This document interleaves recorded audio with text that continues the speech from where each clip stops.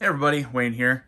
In today's recon, we're going to look at a game that's been getting a lot of attention lately, and that is the very recently released, um, in fact, I think it's being delivered to backers right now, The Shores of Tripoli, strategy game by Kevin Bertram, um, published by Fort Circle Games. I believe it may be their first game. Don't quote me on that, though.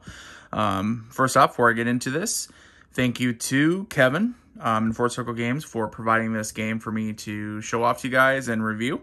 Um, and second, thanks to all of you guys who have been watching my videos, have been subscribing. The numbers are going through the roof, and I really appreciate it. So, all right, let's go ahead and take a look at this one. Like I said, if you're watching this as it's been uploaded, um, this game's just coming out, getting a lot of attention all over the place. I can tell you that I was excited once I kind of heard that I was going to get a copy. I was excited to check it out. Um, nice heavy box. You can tell it's a thick cardboard, thick box. Um, Shores of Tripoli designed by Kevin Bertram. From the end of the American Revolution, commercial vessels of the young United States Republic were easy prey for the pirates of the Barbary Coast. In 1801, newly inaugurated President Thomas Jefferson was eager to put an end to this threat and sent a squadron of observation to the Mediterranean. As the squadron arrived in Gibraltar, they learned that the the Bashaw of Tripoli had already declared war. All right, so um, as you can see, and we'll, we'll dive into this here, it's going to have uh, cards, it's going to have wooden pieces, um, you're going to have a full mounted map, one to two players, so it does have a solitaire option, playtime 45 to 60 minutes. So let's open her up and uh, see what we got. And by the way, I do love the cover there. I think it's really catching. Go ahead, open her up. See what we got here. Come on, get out of there. All right. It's actually, the box is almost like a, almost like a linen finish to the box, I think. Really, it's, it's been too much time on the box, but hey, nice box. Very thick, so definitely going to hold everything very well. We have our rules here. Historical supplement and designer notes. I'll start getting into pieces, the map, cards, dice. Let's go ahead and look at the rules first. Shores of Tripoli. Rules of the game. All right, component list. Everything written out here. Large font. Very large, easy to read.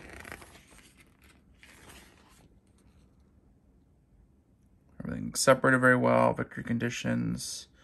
Get into the game setup. Sequence of play. American play, moving in combat. Let's see, naval combat and bombardment. Only like a page, page and a half. Pirate raids. Basic strategy, solitaire rules. So it looks like the regular rules, about 10 pages total of good size font. Um, solitaire rules look like going to be the last page. Yep, solitaire card play requirements. So last couple pages will have solitaire rules. Okay. Let's see here. Look through again couple pictures. Doesn't look like there's a ton of examples. So you can see like some cards here listed. And not a lot of pictures or examples. Um, but I mean, it looks, it's very like, it's two columns, but it's, I mean, it's really big font. So it's not like it's text dense. 12 pages with all the stuff, including the solo. I imagine it'll be a easy game to learn and play. Hopefully, right? right. Historical supplement designer's notes first Barbary War. And hey, I'll be honest, with the first one to admit I do not know a ton about the first Barbary War or second Barbary War or um, Barbary Barbary War episodes three through nine or however many there were. I really don't know. And you know what? That's great thing about these games. Sometimes and I know most people don't like to admit this, but sometimes it's okay to go into a game. You don't know a whole lot about the history, and you learn the history. You can learn it from the game and learn it from notes like this. So I'm, I'm excited to read through this. I definitely will um, before the game to get started. What do we got here? What is this?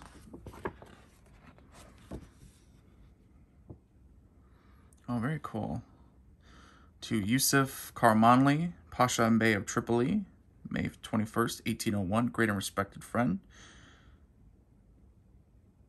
Uh, oh, and it says looks like it's the it's the the letter from uh, President Jefferson saying, "Hey, uh, we have found it expedient to detach a squadron of observation into the Mediterranean Sea, hmm, to superintend the safety of our commerce there and exercise our seamen and nautical duties." So, it's uh, yeah, I like that. I've assume this is a historical as well. Very cool.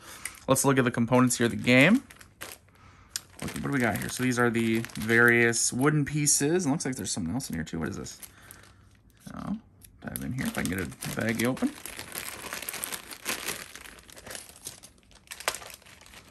So we've got ships here, obviously. And I, again, I've never played the game. I haven't even really read the rule book, so I can't say what the significance of um, these ones with three masts versus, you can see here, some ships looks like just one mast. Not sure what the significance is, the difference. I mean, whether it's a quantity, whether it's a type of unit, I have no idea. But, send that flying. Take, still fun to take a look at them. So very nice, looks very cool. Wooden pieces, huh? All right, different kind of game that I'm used to playing, but you know what? Sometimes that could be fun. We'll see, we'll see. Let me be the judge of that. Some cubes, keep track of random stuff. Little discs. Again, no idea what they're for in the game. Hey, it's an unboxing. It's not a teaching. We're not there yet. So different little cubes and cylinders. Or not cubes. Cubes over there. Cylinders and discs. All right. Nice color to them. Looks good. All right. Component quality seems good. All right. And uh, here we go. A ton of dice. I love it. Whole bunch of dice. Shouldn't even open these. They're going to fly all over the place. and Dice everywhere. Look at that. Oh, yeah bunch of dice, all the different color. I assume it's the colors for the people, but who knows? I like it. I like it. Lots of dice. All right, what do we else we got here? Let's take a look at these cards. Oh, they look fantastic. And uh, it has the little cheaty thing here to grab to pull it open. It, I think it does. It does. I just see if I can grab it. Oh, there we go. Right over here. I was looking at the wrong spot. Boom you guys have watched me um, spend like two minutes trying to open a pack of cards before, so I'm sure your relief is as great as mine when I can open it up in 10 seconds. Plastic, boom. All right, take a look at these cards. Beautiful linen finish on them. I think You guys can see that. Yep, you can see that on the camera. Thick, nice quality. Um, definitely very good cards. Very nice quality. This is comparable to uh, the nicer quality poker cards, or for instance, some of the, the latest Worthington games have had those really beautiful cards. Looking at the back of them, you can see see different. So here we have Jefferson, okay, and then um, the other guy. I don't know his name. I'll be honest. Like I said, don't know a lot about the uh, Barbary Wars. So, well, it's Yusuf Karamanli versus Thomas Jefferson. So obviously I would assume different cards for each side. Move up to eight American frigates, resolve any battles that result. If they're playing as an event, this card is removed from the game. Swedish frigates arrive. Place two Swedish frigates in the naval patrol zone of Tripoli.